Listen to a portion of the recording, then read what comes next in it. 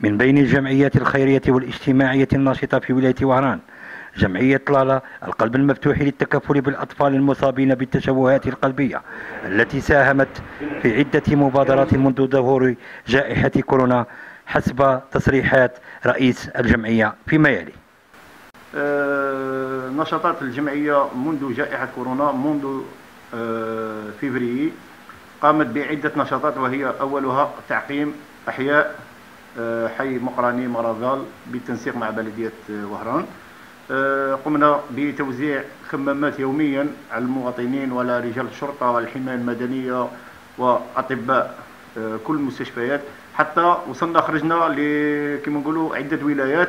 ولاية مستغاليم ولاية بلعباس سيدي بلعباس آه، ولاية بوشنت آه، بني صاف آه، مام خدمنا مناطق النائية مناطق الدل اللي راهي يذكرها السيد الرئيس الجمهورية عبد المجيد تبون.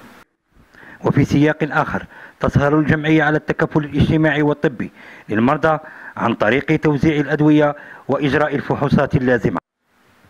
نعم كذلك الجمعية تاعنا راهي تتكفل بالمرضى خاصة الأطفال المرضى المصابين بأمراض القلب اللي هما بحاجة ماسة لينا باش نوجهوهم للعملية الجراحية رانا نديرو لهم كيما نقولوا la prise en charge au niveau de la CNAS تاع بن عكنون في بوسماعيل اللي عندنا اكتظاظ بزاف تاع الأطفال. حنا كيما نقولوا رانا في وهران رانا قادمين la plupart كاع أطفال تاع غرب البلاد من معسكر من الغليزان حتى من le sud من الصحراء.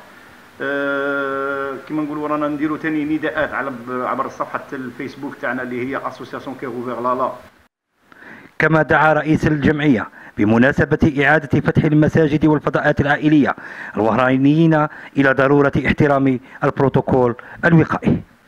أنا نداء المواطنين حنا طلعنا رانا في الميدان رانا في ساموا رانا في الميدان. حنا نداء المواطنين خاصة ولاية وهران يلتزموا التدابير آه، الوقائية هي الأولى. آه، يديروا التباعد جزاهم الله كل خير. حنا ماذا بينا ما نزيدوش آه، كما نقولوا إحصائيات حنا ماذا بينا يقلوا. آه، نشكرك أخي الصحفي.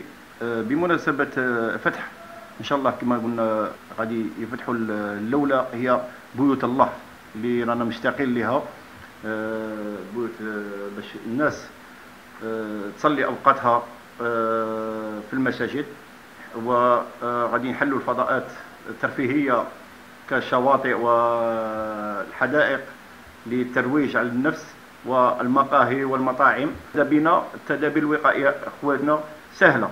غسل اليدين اللبافات ونتباعدوا نديروا تباعد متر متر ونص وربي يرفع لنا هذا الوباء إن شاء الله.